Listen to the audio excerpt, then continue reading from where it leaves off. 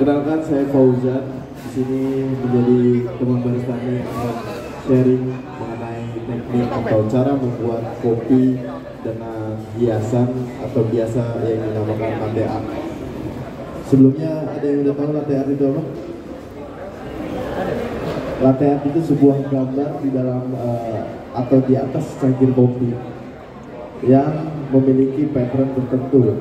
Secara basic, pattern latte art ada beberapa yaitu satu pertama ada heart atau love, yang kedua ada tulip, dia seperti kayak daun gitu.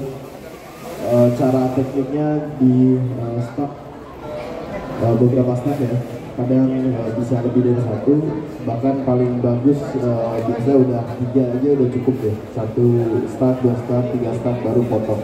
Finishing. Terus yang ketiga yaitu latte eh, sorry, rosetta.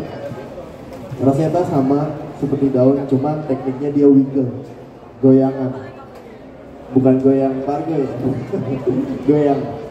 Jadi goyang-goyang. Kalau si tadi tulip didorong stuck gitu, dorong-dorong. Kalau rosetta wiggle. Oke. Terus secara histori, latte art itu sebenarnya